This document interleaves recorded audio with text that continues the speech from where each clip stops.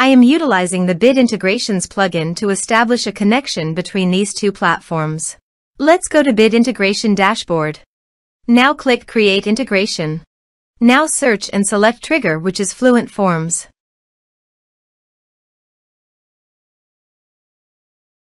Select a form. Click Next. Search and select an action. Registration. Choose an action type. Map the respective fields.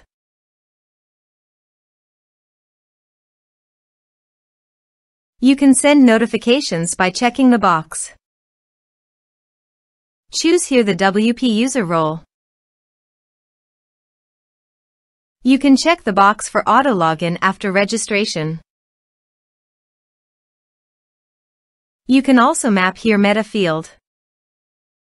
Here are advanced features in conditional logic. If you want you can use it for your own requirement. Now click on Save. Now go to your form and type some information and submit the form.